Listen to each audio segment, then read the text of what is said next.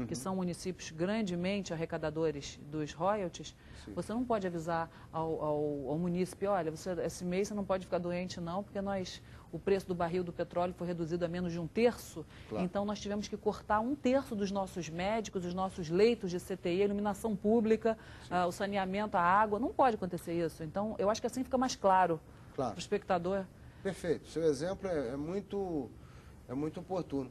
É, não dá para desligar a máquina de funcionamento porque houve um, um desastre na arrecadação. Então, acho que é uma forma mais segura as cidades pensarem que tem que ter uma matriz diversificada para poder enfrentar esses momentos. Agora, acho também que o Brasil é, conquistou esse respeito lá fora porque está fazendo outras é, atividades internas também bem sucedidas. Então, creio que é, está na origem também do, do, desse comportamento, desse resultado, uma postura de que o Brasil parou de vender só para os Estados Unidos ou só para a Europa e passou a vender também para a China, para países Em ascensão, é, né? Em ascensão. Rússia, É, Índia. é, sim, sem dúvida. Mas a China tem um aspecto. Se o Brasil não tivesse a China como parceira, nesse momento de crise, a China praticamente não interrompeu a sua compra de soja, de, de, de, de aço, de minério de ferro. É, se o Brasil não tivesse a China como parceiro, se tirasse a China da relação comercial, como era há uns 10 ou 15 anos atrás, o Brasil simplesmente cairia quase que a metade do volume e do valor exportado. Então você vê como é importante hoje Você tem um parceiro comercial. você ter um parceiro comercial que possa dar andamento ao seu dia a dia. Então tem muito trabalhador que às vezes está morando lá na roça, nem sabe onde fica a China, nem sabe a importância dela, mas esse fato veio se refletindo na economia até chegar a ele.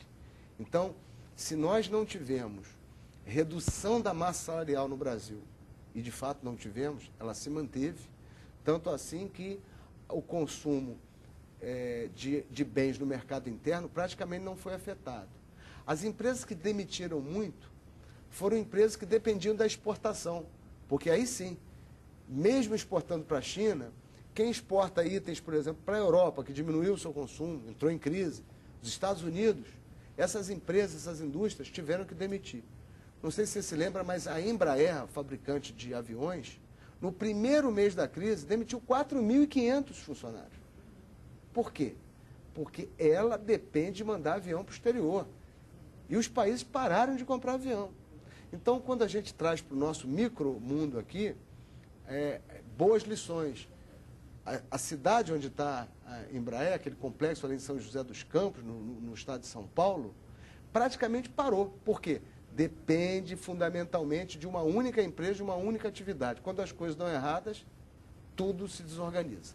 Trazendo então essa dependência de uma única atividade, me assusta muito aqui no estado do Rio esse negócio dos royalties, porque o que eu percebo, talvez você, claro, seguramente, né, sendo secretário de Estado e viajando com a frequência que você vai nos 92 municípios, você não percebe uma, uma dependência muito grande, assim, um vício, talvez, se pode se assim se chamar, ah, desses municípios em receber os royalties. Quer dizer, se hoje houvesse, se hoje fosse cessado isso, aconteceria até alguns problemas. Né? Claro, Você não acha claro.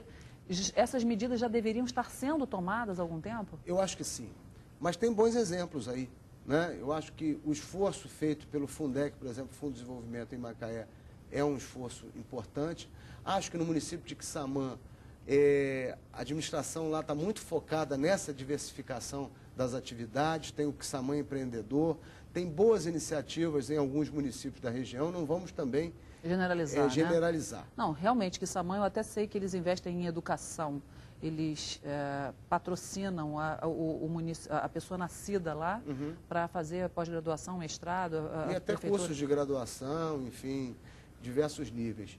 Mas também investe eh, em outras atividades. Agora mesmo eu tive lá no município, eh, eh, visitando a Zona Especial de Negócios, a ZEM, que eles criaram lá, né, já tive por diversas vezes, onde tem unidade produtora de, de, de laticínios, onde tem um circuito de, de pequenos engenhos produzindo cachaça, produzindo açúcar mascavo, enfim, aproveitando é, vocação, vocação ah. agropecuária, é, caldeiraria, fundição e agora uma grande frente na Barra do Furado, procurando atrair a construção naval e também um porto para ser mais uma base de apoio aqui na região norte do estado. Então, eu acho que quando você vê que tem esse esforço de desenvolver, de diversificar as atividades, o, o resultado é muito melhor, porque a médio e longo prazo a gente consegue superar não só uma pancada como essa, uma crise internacional, mas as pequenas pancadinhas também, que são os obstáculos colocados na trajetória de qualquer país, estado ou município. E, e principalmente o seguinte, quando o cidadão começa a perceber no seu dia a dia o que, que é crise, como é que a crise afeta, por que, que ela afeta, né? por que, que ela é, pega de uma maneira mais importante um ramo de empresa do que o outro. Então ele consegue também pensar, puxa vida, se eu sou fornecedor de alguma coisa, de um serviço que seja, de uma empresa que está mais propensa a ter problema por causa da crise, eu, opa, vou fornecer para outra porque aqui eu vou ter menos risco. Então, é, é muito importante que as pessoas, além de cuidar do seu dia a dia, Preste atenção um pouquinho mais no noticiário também. É. Não, você sabe que o São péssimo... medidas simples, né? O péssimo hábito das pessoas... Assim, ah, não, só tem má notícia. Ah, não, só tem programa sobre política. Ah, não, só tem não sei o quê. E vai lá ver. Eu não tenho nada contra a novela, eu acho até uma, uma, uma diversão muito interessante, um passatempo. É, lá o que seja. Agora, não é acrescenta é, efetivamente é a nada. cultura de não querer assistir a um programa de debates, é a cultura de não querer tratar de assunto sério. É ficar olhando a programação rebolativa daqui e dali, que, não, que enfim, que não tem é, essência e que não dá elementos para sequer se travar uma discussão dentro de casa discussão que eu digo, um debate, um Entendi, você buscar um caminho, né? Você claro. ter uma alternativa. Na sua biografia é, que você tem no seu site, uhum. aliás, já divulga o seu site, conta para o nosso espectador é, quem quiser. www.cristinoaureo.com.br Eu li, estava é. falando sobre uh, o início da sua vida, onde você... Uhum é, já vendeu vários tipos de artigo, isso trabalhando no Banco do Brasil, você entrou como menor aprendiz, quer dizer, paralelo a você ter tido um emprego e a segurança, então, que você poderia, uhum. como alguma outra pessoa talvez fizesse, falar, bom, agora eu já estou aqui seguro, estou numa empresa é, é, federal, né, então uhum. eu posso ficar quieto, você ainda buscou uma atividade paralela, é isso que você está sugerindo, né, para a pessoa ficar antenada é, e não botar todos os ovos numa só cesta? Sem dúvida. você acho... acha que isso é um caminho? Eu acho que é um caminho, sim. A família ela tem que estar muito bem informada para poder tomar decisões financeiras corretas. Porque da decisão financeira e do planejamento do orçamento de uma família depende a segurança no futuro. Por quê? No mundo que a gente vive, a mudança é constante.